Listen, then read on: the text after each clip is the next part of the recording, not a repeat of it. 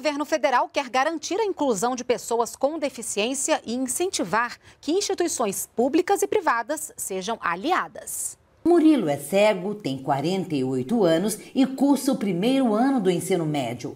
Um óculos especial estimulou a volta aos estudos.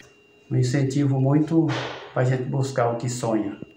Equipamentos que ampliam as habilidades funcionais de pessoas com deficiência e, assim, garantem mais inclusão e independência. Essa é a tecnologia assistiva. Eu quero saber a cor dela, mas eu sou uma pessoa cega. Então, como que eu faço? Toco nela.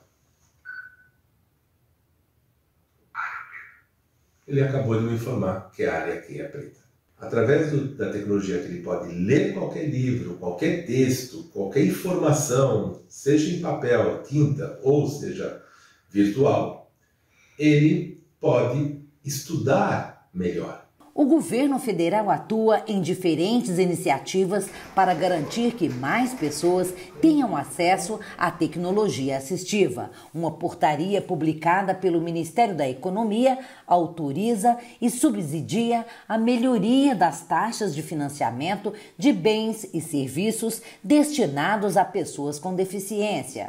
Para esse período de agosto de 21 até julho de 22, a grande novidade é a entrada da Caixa nesse tipo de financiamento. O Ministério da Ciência, Tecnologia e Inovações criou neste ano o Plano Nacional de Tecnologia Assistiva para ampliar pesquisas na área. O ecossistema de ciência, tecnologia e inovação brasileiro está preparado para aproveitar as mais diversas oportunidades e superar os desafios nacionais e de mercado associados à tecnologia assistiva.